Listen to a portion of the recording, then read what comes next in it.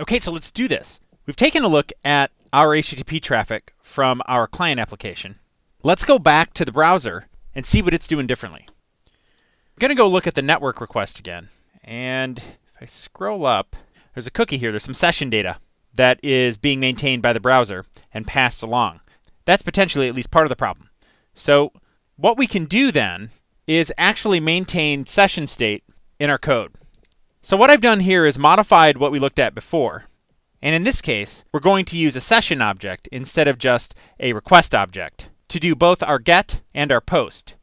We'll be using the same session object, so any session information that we get back from this first request will be maintained and passed along when we make this request.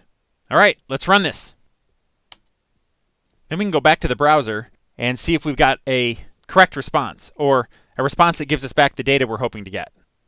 And now we can see that the data we get is actually what we were expecting. So note that this is actually a local file and is in fact the local file that we were writing out here. And we've got the right settings here, what we would have expected had we actually submitted this through the browser. And we're pulling back the data that we hope to get. Still missing the CSS files, but we don't care. All we care about is this data right here. Woohoo! We did it!